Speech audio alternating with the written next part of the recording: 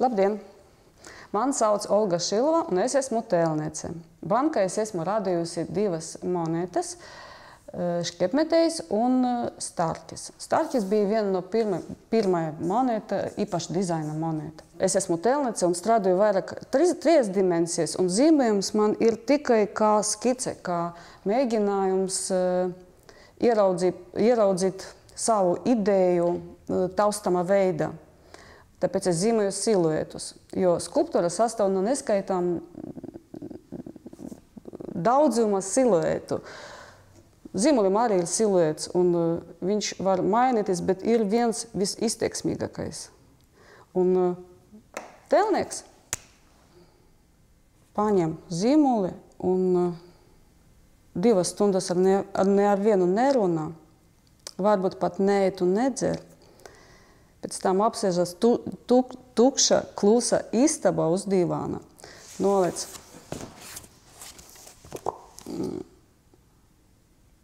papīru priekšā un viņš pagaidot.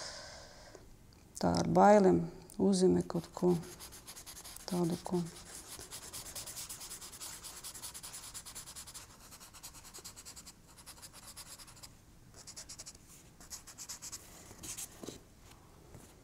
un es zīmēju almu.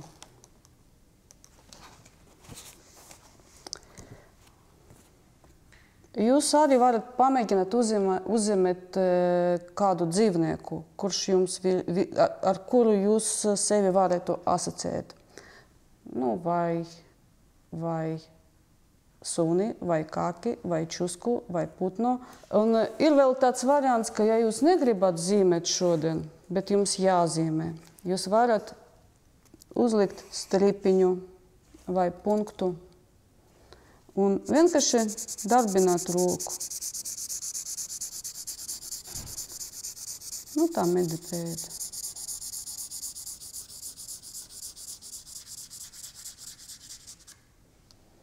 Vai no punkta.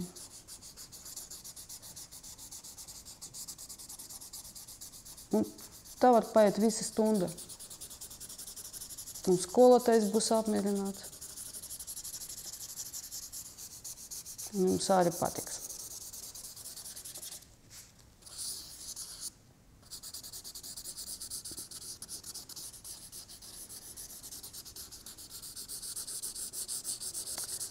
Un pie šita paņēmiena es atnācu mm, veidojot no vaska. Jo pirms uzlikt kādu vaska piciņu, viņu vajag sasildīt un kādu laiku e, nu, parīvēt rokas, roka. Pēc tam tu pieliec to pīciņu. Nu, kur mēs liksim? Šeit liksim. Nu, tāda pīciņa, viena vai otras. Tur ir divi auni un uh, zināms tukšums, tukšuma dziļums un uh, kaut kāda nu, neizpratne. Tie ir divi auni, tie ir ne, ne, neizpratne, un tie, tas ir tukšums. Un tas ir šodienas emocijas. Oi, tas būs puika. Nu, var uztaisīt tomēr meiteni. Būs meitene.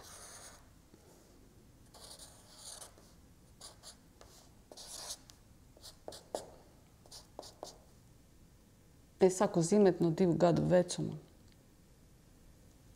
Un, spriežot pēc šitās zīmējuma, es neesmu neko iemācījusies vai kaut kā attīstījusies.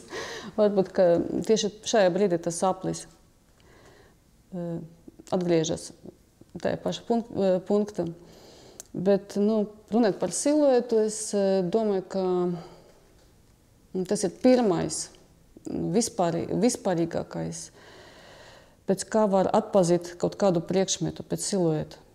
Mēs ielas, nu, tālu, tālu ielas gala varam atpazīt savu pazīstamu cilvēku tikai pēc silueta. Un skicēšana tā ir tā trausla robeža.